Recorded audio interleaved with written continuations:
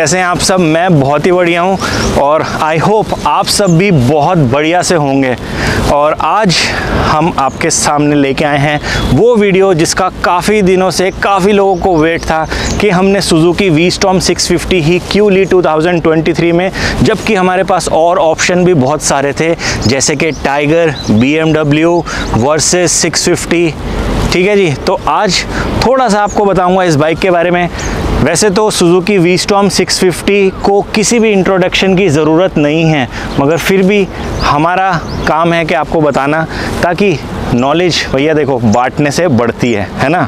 चलिए शुरू करते हैं। तो थोड़ा सा आपको बाइक की स्पेसिफिकेशन से बताता हूँ। सुजुकी वी स्टॉम 650 के फ्रंट से शुरू करते हैं। तो जो फ्रंट व्हील है, इसका है 19 इंचेस और with tubeless spokes the best thing और जो रियर टायर है, वो है आपका 17 इंचेस और यार, ये बहुत सही लगते हैं मतलब जो गोल्डन कलर है ना this adds to the charm of this bike I must say this फिर आ जाते हैं इसकी हेडलाइट पे. हेडलाइट अभी एलईडी नहीं है दे आर गिविंग हेलोजन मगर हम इसमें ऑक्सलाइट वगैरह लगा सकते हैं और इसका जो थ्रो है, बहुत ही अच्छा है। ऊपर बढ़ते हैं विंडस्क्रीन की तरफ़। जीवी की विंडस्क्रीन मैंने डाली है, जो कि आपकी एडजस्टेबल है। आई होप आपने लास्ट वीडियो में देख ली थी।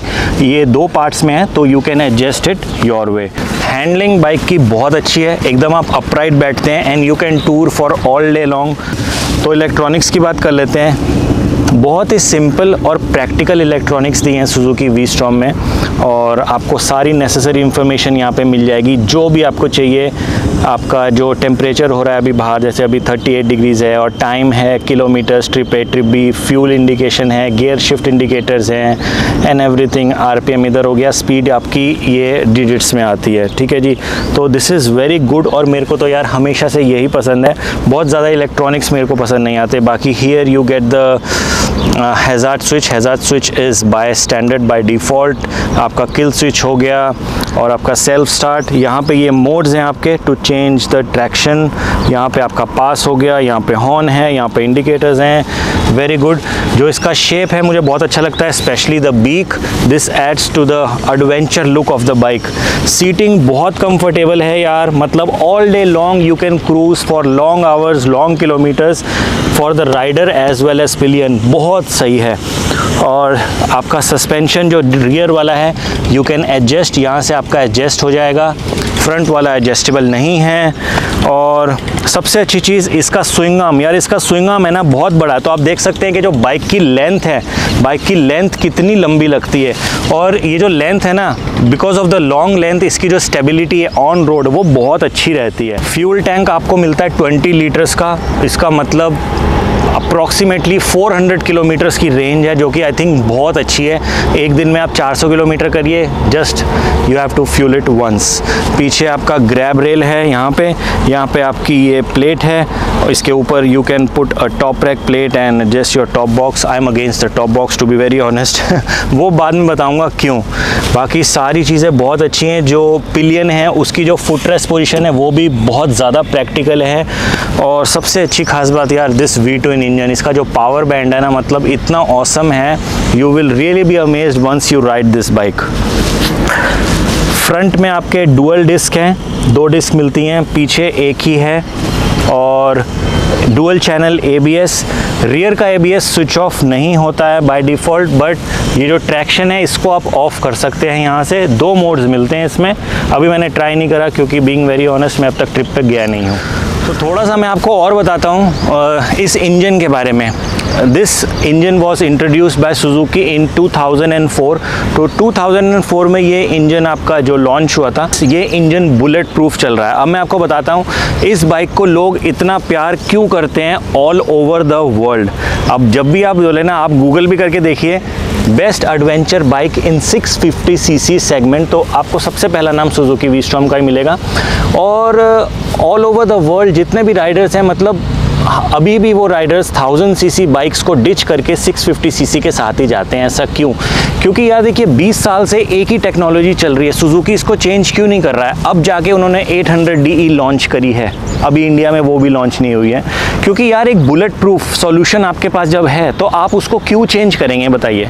अगर आपकी एक चीज़ बहुत अच्छी चल रही है people are loving it then why to change it ठीक है? अब मेन बात क्या है, इसका जो मैंने आपको जैसे बताया वी टू इंजन है, उसका जो पावर बैंड है, वो बहुत अच्छा है। और this is the most reliable bike in the world उसके रीजंस यही हैं कि इस बाइक में बहुत ज़्यादा इलेक्ट्रॉनिक्स नहीं है। Electronics plays a very important part when it comes to reliability क्योंकि यार देखिए इलेक्ट्रॉनिक्स है, कभी भी मेल फंक्शनिंग हो सकती है, आप लोग भी अग्री करेंगे। और तभी इस बाइक में मिनिमल है एकदम। यूज़ के लिए सब कुछ है। और बाकी देखिए राइडर के ऊपर है, आपकी प्रेफरेंस है, आपको ज़्यादा कैसी चीज़ें पसंद है? I like things more simpler in life not only in the bike तो यार देखो, सबसे अच्छी चीज़ पता क्या होती है? ये बाइक जब आप चलाते हैं when you get on to this bike it will not scare you at all मतलब बहुत बड़ी बाइक बहुत है, बहुत बड़ी बाइक है।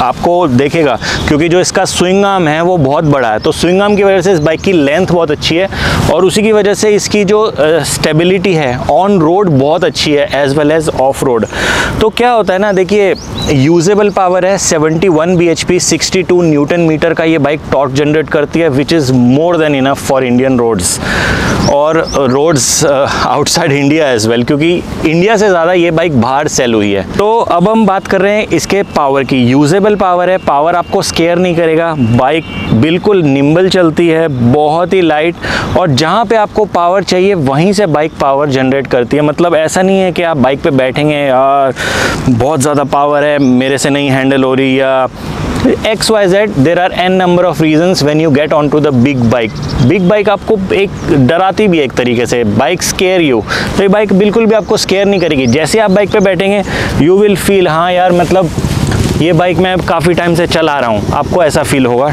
टू बी वेरी ऑनेस्ट मेरे साथ भी यही हुआ था। हाईवे टूरिंग के लिए ये बाइक अभी भी बेस्ट क्यों होती है? Because of it's seating seating यार इतनी अच्छी है ना इस बाइक की मतलब it's so comfortable so cushiony for the rider as well as for the pillion और वी ट्विन इंजन की जो प्लेसमेंट होती है, वो ऐसे होती है वी शेप में। तो इसका बेनिफिट सबसे बड़ा क्या होता है, मैं आपको बताता हूँ, जो इसका पावर बैंड होता है पावर बैंड बोलते हैं जिसको पावर बैंड इसका बहुत बड़ा रहता है। All through out the journey मतलब जो आप बाइक चला रहे हैं all throughout that phase you will get the power आप लो एंड लीजिए, आप मिड एंड लीजिए, आप टॉप एंड लीजिए, आपको तीनों एंड्स में भरपूर पावर मिलेगी। यही 650 सीसी वी टू इंजन का कमाल होता है।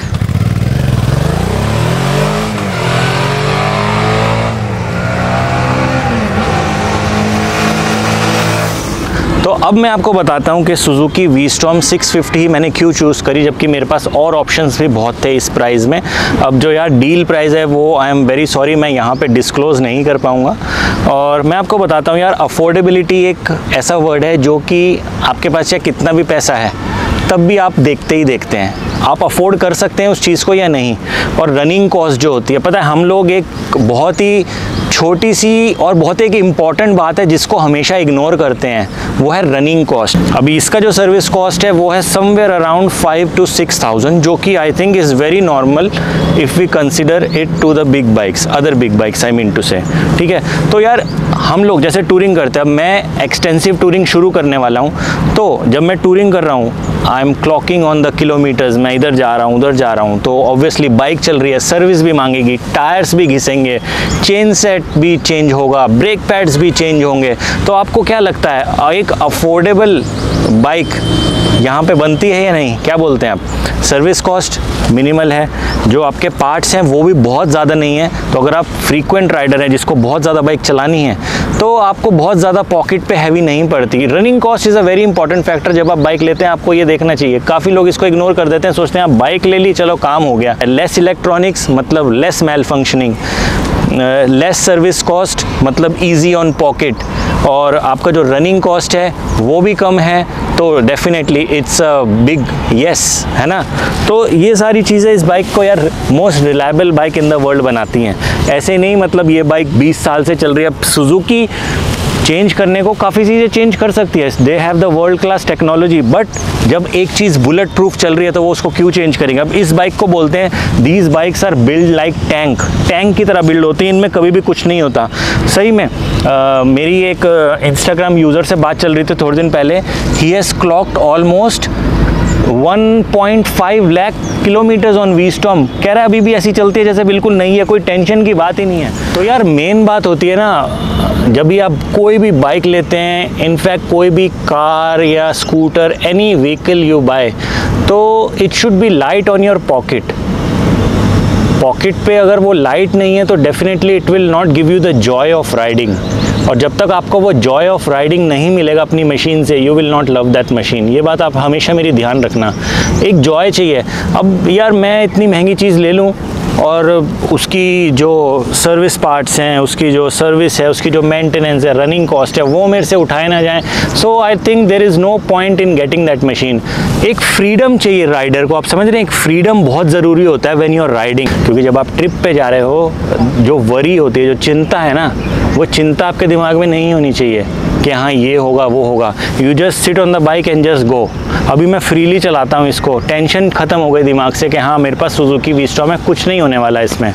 और इस बाइक को बोलते हैं फॉरेन में इस बाइक को बोलते हैं टोयोटाज ऑफ़ मोटरसाइकिल जैसे टोयोटा है ना इनोवा है फॉर्चूनर है। आपने कभी कंप्लेंट देखी है उनमें? हार्डली कुछ आता है। रनिंग चीज़ें हैं तो कुछ ना कुछ तो देखो, छोटा बहुत चलता रहता है। मगर कोई भी मेजर मिसहैप उनमें नहीं होता है। Because those engine are build like tank Japanese technology is the best Suzuki and Honda मतलब आँख बंद करके आप ले सकते हैं, आपको किसी से पूछने की ज़रूरत नहीं होती। आपने कभी देखा है, कोई फॉर्चूनर बंदा लेने जा रहा है, पूछेगा, यार, इसका रिव्यू बताना। No one no one does that with Toyotas है ना? तभी इसको बाइक्स का टोयोटा बोलते हैं। तो आई थिंक जितना मेरे मन में था, जो मेरे मन में आया, वो मैंने आपको बता दिया। बाकी जो वीडियोस आते रहेंगे, उन वीडियोस के थ्रू आपको पता लगता रहेगा कि ये बाइक कैसा परफॉर्म कर रही है और हमको ये कितना जॉय दे रही है। अभी तो बहुत दे रही है फ्यूचर में देखते हैं आई होप मिलेगा ही, ठीक है?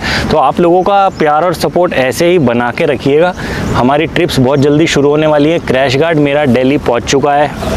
बहुत ही अच्छी न्यूज़ है। आज मेरे को ये कोरियर कंपनी से मैसेज आया था सुबह तो कल मेरा क्रैश गार्ड लग जाएगा और ट्वेंटी को we are living for a trip और इस ट्रिप पे मेरे साथ दो बाइकर्स और भी हैं। आई थिंक आप लोगों ने गैस कर लिया होगा कौन है। ठीक है जी? तो you guys take care Ashu भाई thanks once again for shooting अभी चलते हैं, कुछ ठंडा सा पीते हैं। भाई साहब, गर्मी में बुरी हालत हो चुकी है, देखिए। ठीक है? चलो जी टेक केयर बाय